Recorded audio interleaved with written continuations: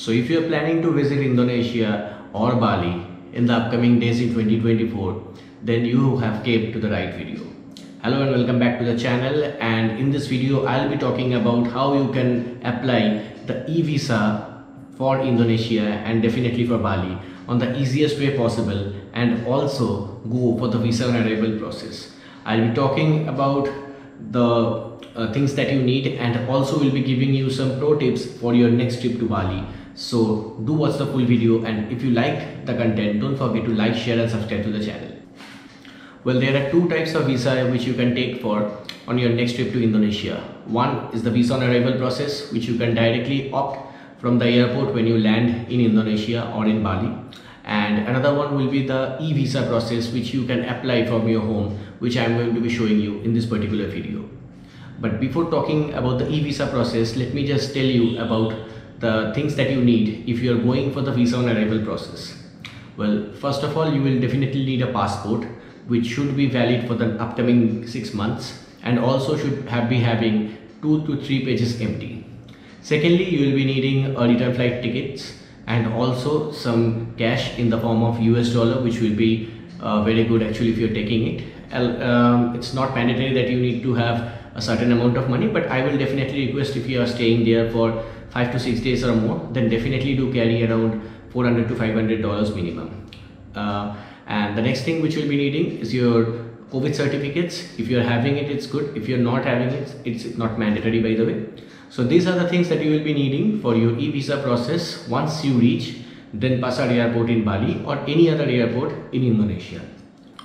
So for the visa on arrival process, I have already told you and let me now tell you about the e-visa process on the screen in the computer. Come on. So just open Google and write down Indonesia e-visa for India. And this is the official website for e-visa for Indonesia. You can just see it here. Don't go for any other websites. This one is actually the official. Do check before applying for anything or doing any payment methods so as you can see this is the official e-visa website for Indonesia. And from here just click here apply.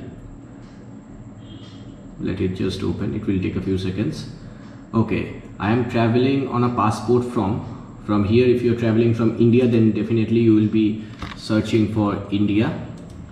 Just type here India. Sorry yeah. And if you're going from any other country do write the name uh, from where you are actually having your passport valid from.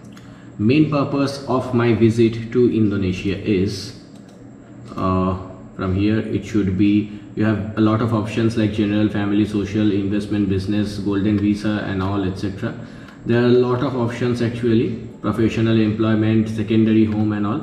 So it should be general family and social if you are going for a tour to indonesia on a vacation. And sub purpose of my visit uh, they have a lot of options like parent of indonesian citizen if you have some uh, relatives there also medical treatment social family depend uh, dependent. Uh, the option which we are going to choose here is tourism family uh, visit and transit. And I want to explore and choose a visa. Right over here there's only one option tourist visa on arrival and 30 days is the time I'm planning to stay. It should be not more than 30 days definitely. And here you just need to click details and apply. So once you're done with that there's a pop-up information you can see. There are a lot of things that you should know before actually applying for the visa. First of all the stay is up, valid up to 30 days and which is extendable for another 30 days if you're going for a visa extension and the cost is 500,000 rupiah which is almost around 2600 Indian rupees. If you are going for the visa on arrival then you will also have to pay around 33 to 35 US dollars which is kind of the same actually. And there are a lot of rules like traveling in Indonesia uh, participating in meetings and initiatives and all etc these are the rules and regulations you can just see. You can actually you should actually follow these things actually just to maintain the culture heritage and also the rules and regulations which a country follows. And you can just see there it's written here that comply with laws and regulations have sufficient living expenses while in indonesia definitely because uh, if you don't have money then how can you travel? It's all the same. So these are the things. Uh, document requirement passport valid for at least last six months which i've already told you and outbound tickets for indonesia visa validity is 90 days. So click apply right over here.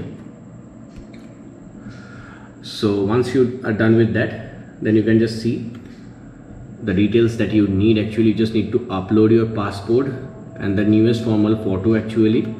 The photo size is also given here. It's 400 into 600 pixels which you definitely need to know. You just actually have to go to the studio and tell them like i need this uh, size actually for my photo.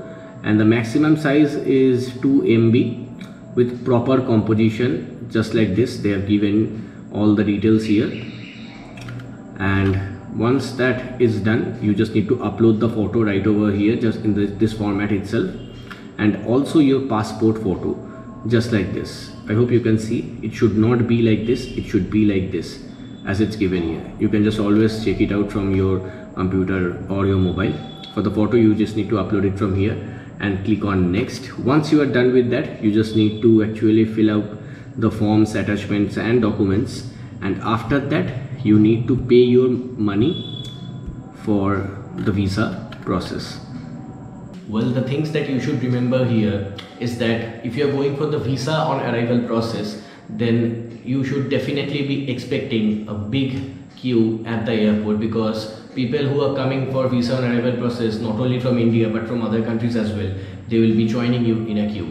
And there you will have to pay almost around 33 to 35 dollars. And do remember it should be in US dollar not in Indonesian rupiah or any other currency. It should be in dollars so this is one of the important things that you should know. And I would recommend that it's better that you opt for the e-visa service here because it's very easy as I've already shown you in the video. And if you have any questions do let me know in the comment section. I will definitely answer so that I clear out all your doubts.